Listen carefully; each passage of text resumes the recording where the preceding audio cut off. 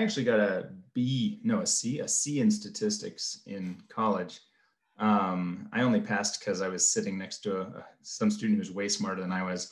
Um, and then when I took graduate statistics, I got a B again, only because I was sitting next to somebody smarter than me. Um, and so when I got to my doctoral program in Cleveland, my professor saw my transcript and said, eh, "You need to take statistics if you're going to be a professor."